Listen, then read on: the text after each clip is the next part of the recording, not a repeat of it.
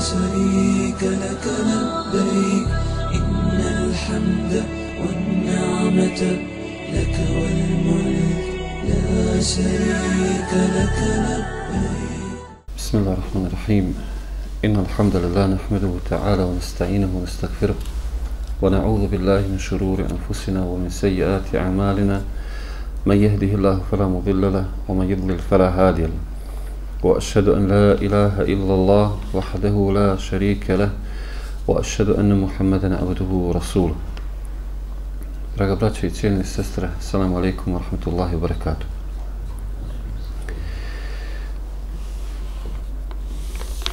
Za večeras odlučio sam govoriti o jednoj temi koja možda, hajde kažemo tako, malo i kasnije od onog našeg običajnog adeta da pratimo nekakva dešavanja kroz našu hijđarsku ili godinu ili nekakva dešavanja znači koja su aktuelna pa shodno tome nešto se i progovori. E, malo ću iskočiti to iz tog iz tog jel, uobičajnog našeg adeta zato što je vjera za čovjeka muslimana uvijek aktuelna i zato što čovjek uvijek ima da uči iz lekcija koje nam je ostavio Allahu poslanik sallallahu alaihi wasallam. Ali da to može biti i problem, jel, da čovjek pokad kad ne razumije stvari, da ne razumije e,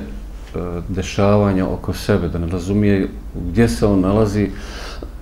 najbolje nam mogu možda ilustrirati jedan, jedna anegdota, jel, gdje kaže da je nekakav čovjek, hajde kažem, musliman, ušao u Birtiju i pita ko je ovdje Miloš? Kaže, ko je ovdje Miloš? Pa se javi neki, kaže, ja sam Miloš, i on izvadi pištolj i upucava. Pa ga ljudi pitaše, čovječe, šta uradi? Zašto ubi čovjeka? Kaže, znaš li ti da je on ubio Murata? Da on ubio Murata? Pa kaže, ti sve znaš ti kad je to bilo? Ovaj, kaže, ja sam tek jučer čuo ovaj, da je nekakav Miloš, jel, taj Obelić, ubio sultana Murata. Toliko, znači, za neke informacija ljude kasne. Imamo takav tip ljudi ovaj, koji hoće nije svjestan situacije u kojoj jeste, ne prati dešavanja, no međutim ovo se ne odnosi i na ovu stvar o kojoj ćemo mi večeras govoriti, a to je hijđra Allahov poslanika, sallallahu alaihi wasallam. Fino bi bilo možda da smo mi ovaj uspjeli da se obratimo u oči toga dana ili u, u tom nekom jel, periodu, ali lekcije koje nam pruža hijđra uh, uputa koju nam je Allah subhanahu wa ta'ala ostavio sa ovim događajem je nešto što se treba svakodnevno učiti, svakodnevno se sjećati i ne smijeta jel, da i večeras progovorimo o, toj, o tom velikom događaju koji je promijenio istoriju budući da je Allahov poslanik sallallahu alejhi ve sellem je kao što je poznato preselio se sa muslimanima iz neplodnog tla za islam za davu u zemlju u predio jel koji je ovaj bio pogodan da se širi Allahova subhanahu wa ta'ala vjera. E, što se tiče samih događaja događaja koji su ili, ili samo steda događanja to je manje više svima nama poznato. Kako se odvijela sama hiža pripreme za hižu i ostalo. Tako da mi večeras nećemo govoriti o tome kako je poslanik sallallahu alejhi ve sellem jel fizički se preselio iz Mekke u Medinu, nego ćemo govoriti o nekakvim dešavanjima, jel nekim posebnim segmentima u svemu tome ovaj koji će nam nas podučiti kako da budemo požrtvovani, kako da budemo ovaj od onih koji se uzdaju Allaha subhanahu wa ta'ala kada se pred nama nađe nekakav veliki zadatak ili nekakva velika iskušenja. Mi znamo da je poslanik sallallahu alejhi ve sellem u Mekki mnogo toga proživio od nevjernika. Zlostavljan napadan, prozivan raznim imenima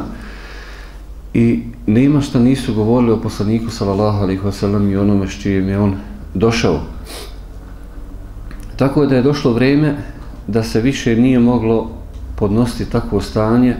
i da je Allah subhanahu wa ta'ala tijelo hajra ovoj vjeri i htio je jel, da se nađe drugo plodno,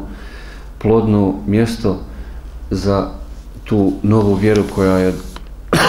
se pojavila pa je poslanik sallallahu alaihi wasallam odrekao se svega što je imao u, Medin, u Mekki ostavio svoje najdraže mjesto i zaputio se ka Medini. Pa je poslanik sallallahu alejhi ve sellem kada je izlazio iz Mekke, okrenuo je se prema njoj i rekao kaže wallahi inneke la khairu ardi Allah wa habbu ardi ila Allah. Kaže tako mi Allaha ti si najbolja obraća se Meki ti si najbolja Allahova zemlja i Allahu najdraža zemlja. I kaže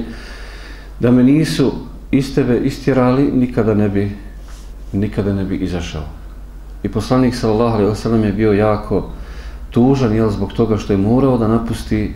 svoju kuću, da mora napustiti svoje mjesto, da napusti kjavu, da napusti ono za što je znao jel i za što mu je Allah subhanahu wa ta'ala objačao da će se vratiti u to jel. pa je u ovome, jel, u samom preseljenju iz Mekije u Medinu velika lekcija za muslimane o požrtvovanju. Da čovjek radi Allahu subhanahu wa ta'ala vjeri pokad kad treba ostaviti i nešto što mu je drago. Sve je lijepo dok je čovjeku ono glat ide njegovo služenje Allahu subhanahu wa ta'ala. Dok se podudara sa prohtjevima i porodce, prohtjevima, ne znam ja, familije nekakve uže ili šire, sve je to lijepo dok ide potama. No međutim, kada se pođu dešavati problemi, kada bude teško obožavati Allaha subhanahu wa ta'ala u nekakvom području ili mjestu, ovaj,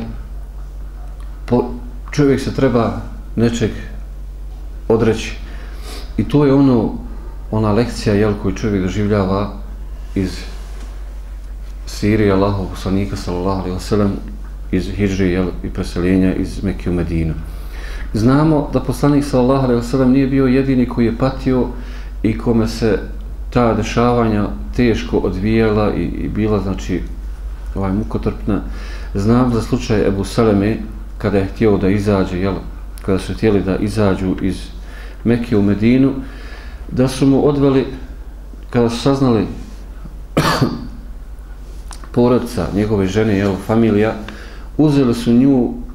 oteli nju i njegovo i njegovo dijete.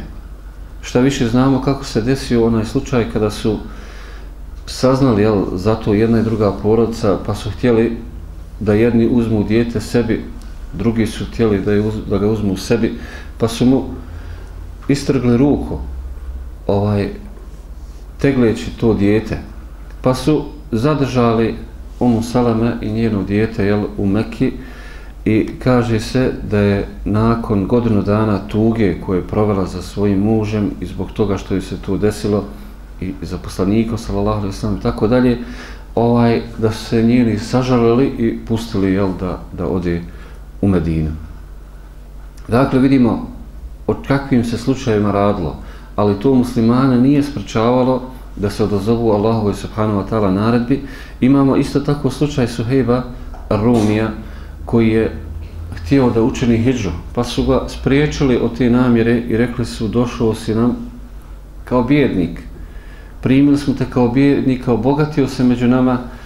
i sada hoćeš da izađeš, jel, izneseš tu svu trgovinu, taj imetak, taj kapital koji si zaradio među nama,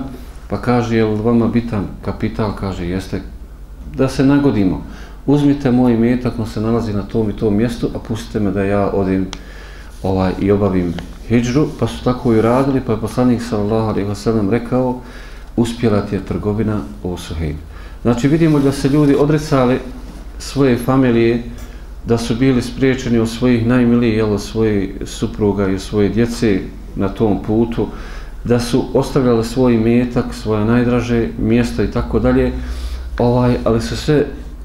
to uradili radi Allaha subhanahu wa ta'ala zato što su bili spremni da se odreknu da se odreknu u ima Allaha. I ovo odricanje u ima Allaha je velika stvar u vjeri velika stvar u islamu da čovjek se odrekne svojih prohtjeva svojih nekakvih požuda nešto što mu je drago radi Allaha subhanahu wa ta'ala. Bez obzira da li to bilo poznato nekome ili nepoznato mi svi znamo šta imamo između sebe i Allaha subhanahu wa ta'ala nekakvih tih loših stvari i to treba ostaviti radi Allaha subhanahu wa ta'ala pa kaže se da je najbolji muhađir onaj koji ostavi ono što je Allah subhanahu wa ta'ala zabranio znači u prvom redu su to grijesi od počevši od onih najveći pa silazno dole. Isto tako druga lekcija koja nam se nudi u hijđri Allahovog poslanika sallallahu alaihi wasallam jeste da ne treba i ne smije čovjek musliman da gubi nadu, da pada u očaj, da osjeti u nikakvo beznađe zbog toga što su prilike koje vladaju oko njega teške, što vidi da nema izlaza u određenim situacijama, da li se one ticala njegovog ličnog života ili vjere za koju radi, pa vidi da mu je teško, da nema rezultata, no međutim, lekcija koju imamo u siri Allahovog poslanika sallallahu alaihi wasallam, u vrijeme znači činjenja hijđri, je velika stvar i treba toga biti svjestan jer znamo da je poslanik sallallahu alejhi ve sellem prije nego što je uradio hidžu pokušavao naći plodno tlo za davu da je odlazio od jednog plemena do drugog plemena da je iskorištavao vrijeme ovaj dolask hadža jel, koji se odvija u to vrijeme u, u, u izokrenutoj verziji ovaj, pa bi otišao kod plemena tog, pa su ga odbili pa kod drugog plemena i tako dalje i govorio ima li čovjek koji će me sačuvati, koji će me uzeti u okrilje, zaštititi me, ovaj, jer zaista me Kurejiš, pleme Kurejiš sprečava da dostavim poslanicu svoga gospodara. Pa kaže se da je tako znao obilasti po 15 plemena, jel, i nudio im vjeru, nudio im da ga zaštite, da mu daju prostora da radi za Allahu subhanahu wa ta'ala vjeru. Znamo kako se desilo kada je ošao u Taif, kako su ga napali, kako su ga ovaj bacali na njega kamenice i tako dalje, puštali na njega oni ovaj ljude jel, ili djecu huškali i tako dalje. Čak su i pustili krv Allahu poslanika sallallahu alaihi wasallam ovaj na, na tom putu i bilo je bezuspješno. I onda Allah subhanahu wa ta'ala nakon svih tih pokušaja daje mu rešenje daje mu nudi mu put jel, ovaj u Medini. Allah subhanahu wa ta'ala je znao odma gdje je dobro za muslimane. I mogao ga odma naputiti i dati da se izdešavaju ti događaji koji su bili se desili kao vrtira u samu hijđru od oni prisjega i tako dalje i, i slanje zaslanika i tako dalje, znači sve što se odigralo Allah je to mogao odmah uraditi čim su ovi Kurešijevći ovaj, oduprli se davi, čim su pokazali da ih to ne interesuje Allah je mogao dati da se to izdešava u vrlo kratkom vremenu i desila bi se hijra, desilo bi se ono jel, hajra što je se desilo u Medinu. Međutim, Allah subhanahu wa ta'ala iz svoje mudrosti ostavio da se sve ovo odvija svojim redom. Da bi muslimani znali kada sutra dođu u sličnu situaciju da ih ljudi ne prihvataju, da ljudi odbijaju, da ljudi nisu spremni da ih podrže u hajru koji oni pozivaju, da znaju da trebaju da saburaju, da znaju da trebaju ići stopama Allahov poslanika sallallahu alejhi ve sellem i raditi i pokušavati mnoštvo puta, mnoštvo puta i onda Allah subhanahu wa ta'ala svojim iskrenim robovima, oni koji budu išli i radili po sunnetu svoga poslanika sallallahu alejhi ve sellem u svemu pa i u ovome upornost, negubljenje nade i tako dalje, Allah će dati plemenite lijepe rezultate. U porodici, u radu sa svojim djetetom, ne znam nija, u familiji, sa svojim komšilukom u, u pozivanju svoga naroda, znači čovjek ne treba gubiti nadu i treba znati da sve što doživi od neprijatnosti, i nalagodnosti na tom putu, da će zato biti nagrađen. Pa mu je to utjeha koji svakako treba nalaziti u tim teškim, teškim trenucima. Isto tako nije bitno, u stvari nije beznačajno i bitno je s kim čovjek radi određeni hajr. Na tom putu dave nije svejedno da li bio sa ovim ili sa onim. Zašto? Zato što poslanik sallallahu alejhi ve sellem je učinio hidžru i odabrao sebi saputnika. Nije uzeo najjačeg ashaba koji je imao jaku ovaj fizičku snagu pa kaže ti mi trebaš. Nije ovaj gledao ko je najimućniji, nije gledao neke druge veze koje se danas traže od ljudi, nego je gledao bogobojaznost. Bogobojaznost osobe s kojom će ići učiniti hijđu, a to je, znači izbor je pao na Ebu Bekra, koji znamo kako je ga opisao Allah, poslanik sallallahu alaihi ve sallam i kaže kada bi iman svih vamo muslimana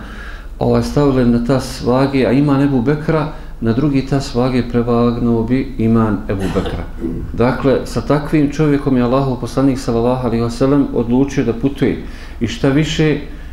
najavio mu je prije samoga polaska na određeno vrijeme dao mu je i šaret da se ovaj priprema i fizički i psihički i imanski da se priprema za ovako veliki trenutak i očekivao je ovaj s nestrpljenjem kada će doći vrijeme da, da ovaj uputi se sa Allahom i poslanikom sallallahu alejhi ve sellem na to najznačajnije putovanje u istoriji čovječanstva tako su on doživljavali. Pa nije sjedio skršeni ruku ovaj i kao što mi to radimo i čekamo da se nešto izdešava i da nas Allah počasti ovaj nego je radio, pripremao se pa kaže ovaj poslanik jel, kada mu je rekao i dao mu išaret ovaj dao išaret za hijđrom, kaže da je počeo pripremati dvije jahalice, dvije svoje odabrane deve koje je imao. Imao je, znači, mnošto deva, ali je odabrao dvije deve, jel, posebne deve za to putovanje i onda je posebnom hranom hranio da bi bile što jače, bile što spremnije. Pa se kaže da je čekao četiri mjeseca i hranio, pripremao te jahalice, vježbao ih za to veliko putovanje. Znači, bilo je priprema, bilo je onaj od strane tih najboljih ljudi koji su ovaj bili tako vrijedni kod Allaha subhanahu wa ta'ala, ali nije izostalo kod njega nije izostalo znači to pripremanje i od poslanika sallallahu alejhi ve sellem znači odabir tog društva. Pa je jako bitno da čovjek zna s kim će da radi određene stvari, u kakvom društvu želi i treba da boravi ovaj i u kakvom timu treba da igra. Ovaj jer ljudi će svjedočiti jedne za druge. Čovjek će biti proživljen na, na vjeri svoga prijatelja, jel kako se kaže. Oni s kojim si boravio, s njima ćeš biti i proživljen, pa bi čovjek trebao birati koga da uzme sebi za prijatelja, koga da uzme sebi za pomagača u svojim projektima, u svom životu privrednom, ovom ili onom, znači nije bitno ovaj da sebi odabira pravo društvo. Pa kada je došao trenutak ovaj trenutak preseljenja iz Mekke u Medinu i poslanik sallallahu alejhi ve sellem kada mu je rekao Ebu Bekru kaže Aisha radijallahu anha onda je on zaplakao i kaže tako mi Allaha govori Aisha radijallahu anha njegova kćerka ovaj mislila sam do toga dana da niko ne može plakati od dragosti dok nisam vidjela svoga oca Ebu Bekra da plače od dragosti. Da čovjek, još čovjek, i da plače od dragosti što je došao trenutak da se uputi sa poslanikom sallallahu alejhi ve sellem i učini hidžu. Mi to ne doživljavamo možda tako kako su oni to doživljavali. Mislimo to je nešto obično. Ali to su oni znali koliko vrijedi, koliko je to velika čast ovaj od Allaha subhanahu wa ta'ala pa Ebu Bekr na čitavom to putovanju znao kako se ponašati kada bi bio ovaj kada bi bila noć, kada bi bila nekakva opasnost ili nešto, išao bi ispred poslanika, sallallahu alaihi wasallam. Kad su ulazili u pećinu, ovaj, ušao bi prije njega, pogledao ima li kakva životinja, nešto što bi moglo nauditi poslaniku, sallallahu alaihi wasallam pa bi to on prvo riješio, pa bi tek onda došao ovaj i rekao poslaniku, sallallahu alejhi ve sellem da izvoli i da uđe. Osim toga, kada pogledamo kako je poslanik sallallahu alejhi ve sellem sve izorganizovao, nije on tako išao grlom u jagode kao se kaže kod nas, ovaj i krenuo ti on ovaj za Medinu. Omer radijallahu anhu je tako nekako postupio. Bio je snažan, bio je odvažan i rekao kad je išao u Medinu, kaže ja idem, ko hoće da mu ostanu žena, ovaj udovica, djeca siročad, neka izađe. No, međutim, poslanik sallallahu alejhi ve sellem nije to tako uradio, nego je mnoštvo stvari ovaj odradio, ovaj isplanirao prije nego što se to desilo. Pa znamo da je odabrao sebi jednog od najboljih vodiča koji je dobro poznavao teren i puteve kroz pustinju, iako je bio mušlik, jel, platio ga je za uslugu. Ovaj, zatim je odabrao, kao što smo vidjeli, najboljeg druga, odabrao ili uzeo najbolje jahalice, otišao u suprotnom smjeru, ostao tri dana, ovaj pećin i tako dalje, ovaj, znamo da je poslanik sallallahu alejhi ve sellem na tom putu iskoristio sve moguće potencijale jel, koji su bile od značaja. E, djeca Ebu Bakra su bila, čitava njegova porodica je bila angažovana na ovom, ovaj, na ovom putovanju. Njegove čirke su donosile hranu, ovaj, donosile su im hranu. E, sin Ebu Bekra je donosio informacije, boravio bi među Kurešijama čitav dan i onda bi donosio informacije šta Kureševići spremaju, šta dogovaraju, u kom smjeru ovaj idu. Onaj čovan koji je jel, čuvao stoku Ebu Bekra bi išao za njima i, i ovaj zatirao bi tragove koji su oni ostavljali za, za sobom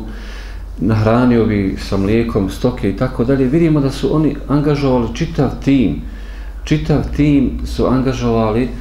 ovaj, da bi ta akcija, da bi to uspjelo. I nemojmo mi misliti da neka najobičnija stvar, da organizuje čovjek nekakvu tribinu ili da bilo šta uradi, pa čak i ovako predavanje, jel, da organizuje, ovaj, treba čovjek neko doći, otvoriti vrata, treba neko naložiti, treba neko urati ovo, treba ono, znači mnošto tih stvari treba se izdešavati da bi nešto bilo u nekakvom, jel, ono, očekivanom obliku. I svi ovi koji rade, koji su angažovani, ili čovjek samim angažovanjem i upošljavanjem ljudi na nekakav hajr, imaće ako Bog da nagradu, ovaj, nagradu kada nekog postakniš na taj hajr i ljudi koji su dolazili poslije doživljavali su hijđru Allahovog poslanika sallallahu alejhi ve sellem ili taj sunnet koji se desio u toku hidže nešto što je vezano za uspjeh. Pa kaže se da je jedan od učenjaka, zaboravio sam njegovo ime, ovaj bio tražen od te neke vladajuće ovaj ekipe vladara koji su bili nepravedni u to vrijeme ovaj, bio je tražen, pa je ga jedan od njegovih prijatelja sakrio, kaže, s konima negdje. I on ga je stavio na neko bezbjedno mjesto. Pa kaže, poslije tri dana dolazi on ovom E, svom prijatelju, kaže, nađi mi drugo mjesto da se preselim. Pa kaže, čovječe, gdje ćeš ići, vidiš da tu sigurno niko to nije našao, kaže, nađi mi drugo mjesto. Pa kada mu je našao i kada je preselio ga na drugo mjesto, kaže, zbog čega si to uradio, kaže, zaista je poslanik sallallahu alejhi ve sellem kada su ga tražili, kada je putovao iz Mekke u Medinu, kaže, on se sakrio tri dana, jel, bio pa je onda promijenio mjesto. Znači, u ovim najtežim trenucima, kada su bježali, kada su spašavali svoj život ovaj, i svoju vjeru, gledali su da to bude onaj posunetu Allahovog poslanika, sallallahu alejhi ve sellem. Pa planiranje, i, i, i strategija koju muslimani trebaju da imaju također se znači može uzeti u, od Allahovog poslanika sallallahu alejhi ve sellem u činu ovaj ili događaju preseljenja iz Mekke u Medinu. Danas će to možda poprimiti malo savremenije oblike, ali u suštini to ostaje to. ovaj, da čovjek musliman razmišlja kako na najbolji način da svoje djelo koje radi ili svoj ovaj, hizmet Allahove vjere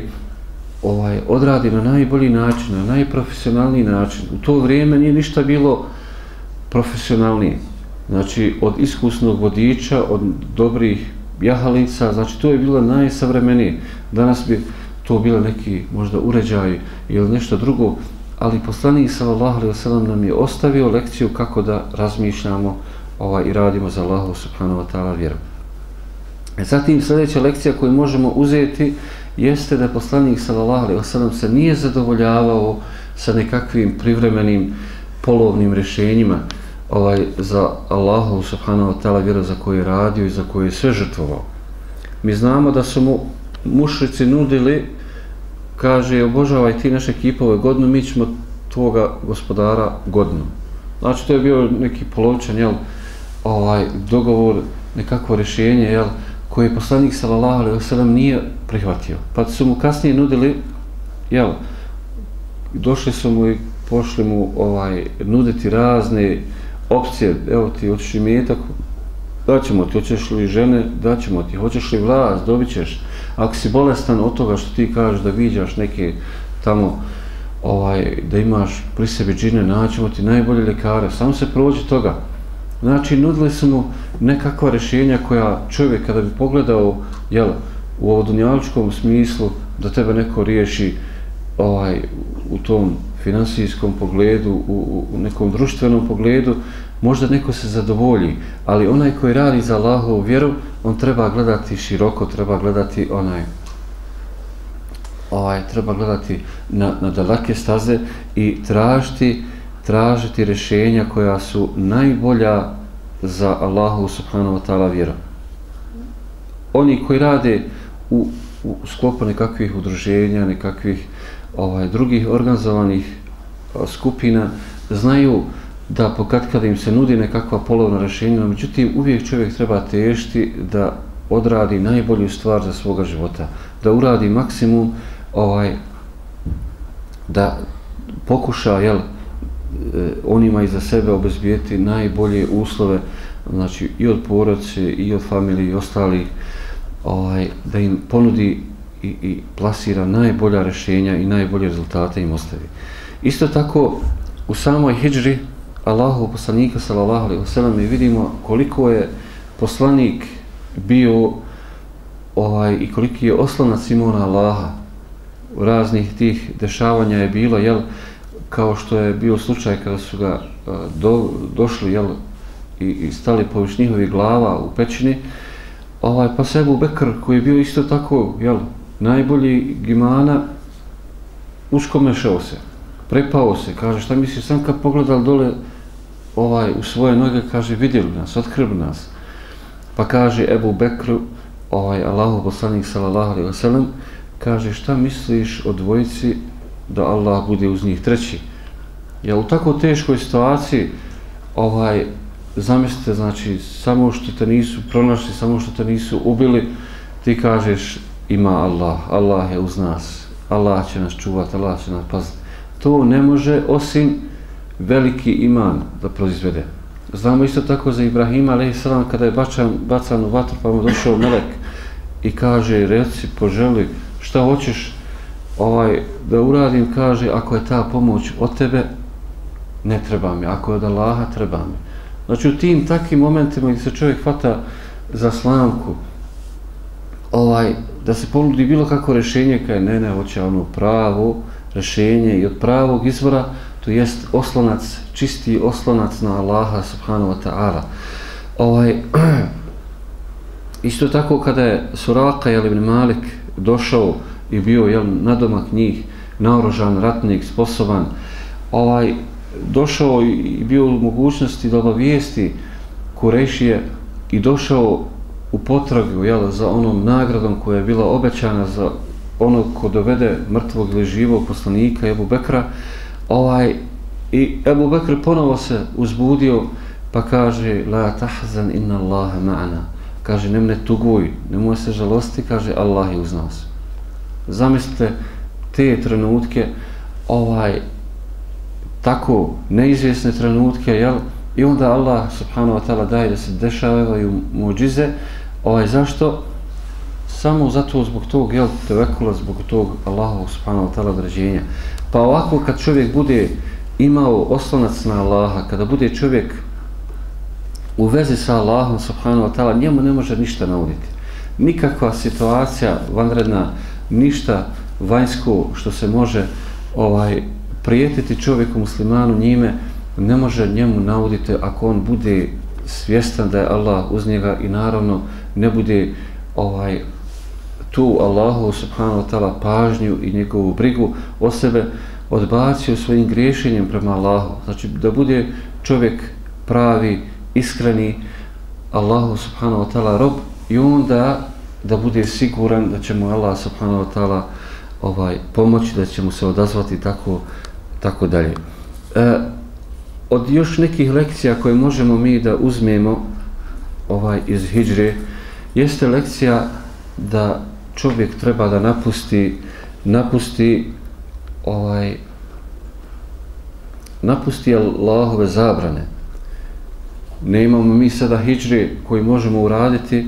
jel, ali imamo hijđu napuštanja grijeha, pa kaže Allah poslanik sallallahu alejhi ve sellem al muslimu men selem al muslimuna min lisanihi wa yadihi. Kaže musliman je onaj koji poštedi muslimane od čijeg jezika i ruku budu sigurni i pošteđeni drugi muslimani wal muhađiru man hađara ma Allahu anhu a muhađir, pravi muhađir je onaj koji napusti ono što je Allah subhanahu wa ta'ala zabranio. Da bi čovjek dobio nagradu jel, te hijđe e, u tom kontekstu jel, da bi se ovaj osjećao da bi bio u tome svemu ima šansu jel, da to radi kroz napuštanje Allahovi subhanahu wa ta'ala ovaj, zabrana. Isto tako, od stvari koje trebamo napuštati i izbjegavati jesu oni ljudi koji griješi, griješnici, razvratnici i drugi koji praktikuju neke ružne i zabranjene stvari, ovaj, jer Allah savjetuje svoga poslanika sallallahu alejhi ve sellem da izbjegava ljude loše ovaj da i na lijep način izbjegne da ih zaobiđe i tako dalje pa bi to isto tako trebala biti lekcija ovaj e, čovjeku da bira društvo, da bira svoje prijatelje, svoje pomagače, kako smo kazali. I još jedna stvar jeste da čovjek ovaj svojim srcem napusti dunjaluk, ovo dunjalučko i da se preseli u ljubav prema Allahu subhanahu wa ta'ala, u brigu za Allahu, znači da bude muhađir i u svome srcu, da njegovo srce više ne bude vezano za dunjalog, nego da ga preseli iz tog ovo dunjalučkog, ahireskog i da sva njegova razmišljanja budu ovaj usmjerena ka tome kako će zadovoljiti svog gospodara, hoće li on biti zadovoljan ovaj njime i sa njegovim postupcima, ovaj jer na kraju krajeva sav njegov ishod, sav njegov rad zavisi od toga zbog čega je bila ta njegova hidžra, zbog čega je onaj zbog čega su ta njegova djela. Da li je to radi Allaha subhanahu wa ta'ala ili radi to nekog drugog, kao što kaže poslanik sallallahu alaihi wa čija hidža bude radi Allaha i njegovog poslanika, njegova hijđa će biti radi Allaha i njegovog poslanika, a kogu čija bude hijđa radi dunjaluka i radi ženi da bi se ovaj oženio, njegova hijđa će biti radi toga. Znači tako će se i vrednovati. Pa čovjek ako hoće da ovaj ima nagradu muhađira, da ima da, da, da radi onako kako radi u poslanik sallallahu alejhi ve sellem, znači svojim srcem i svojim nijetima i svojim ovaj tim osjećajima treba da napusti ovo dunjaličko, ovo dunjaličke materijalne interese ili neke druge prirode ovaj i da se okrene Allahu subhanahu wa ta'ala. Isto tako, pokad kad čovjek a, će biti susrećan sa a, ili sukobljan sa nekakvim problemima, stalo ti je možda do nekih ljudi, ne znam ja, ali osjećaš ti da je veličina onoga negativnog veća od onog pozitivnog u tim nekim određenim stvarima. I ovdje isto tako dolazi lekcija da kad kad čovjek treba napraviti rez, rez, kao što je poslanik sallallahu alejhi ve sellem oselio se, drago ti je sve drago i Kaaba i, i, i taj harem i, i kuća i gdje se rodio i sve, ali poslanik sallallahu alejhi ve sellem napravio rez. Pokatka kad čovjek isto tako treba i sa nekim ljudima napraviti rez. Kada vidiš da ti dolazi problema, neprestano dolazi problem, ne možeš napraviti pomaka, pokušao si, radio si ovo, radio si ono, ostaje ti da primjeniš i ovu lekciju iz Hidžri Allahog poslanika sallallahu alejhi ve da povučeš jednu liniju da napustiš te ljude s kojim ne možeš napraviti hajra koji ti smetaju koji ti potplaću ovaj noge ovaj da napustiš te ljude i da pokušaš raditi sa drugim ljudima. Neko je taj tebi drag ostane on u lijepim odnosima s njim ali pokušaj možda i ovu lekciju s njima uraditi ovaj otprilike otprilike to je bilo neki 5-6 manje ili više nekakvih lekcija koje smo spomenuli ovaj a koje se mogu uzeti iz hidžre Allahovog poslanika sallallahu alaihi ve. Rekli smo na početku možda bi uticaj ili ili razmišljanje čovjeka bilo daleko veće da smo to kazali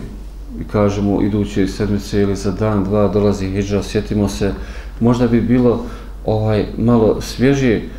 sjećanje na, ta, na taj datum i na, na taj događaj, no međutim ne smeta jel da čovjek i, i mimo toga mimo toga govori ovaj o nekakvim dešavanjima, nekakvim uh, poukama i lekcijama koje se dešavale u Siriji Allahovog poslanika sallallahu alejhi ve sellem. Ja molim Allaha uzvišenog da zaista ove lekcije budu pri nama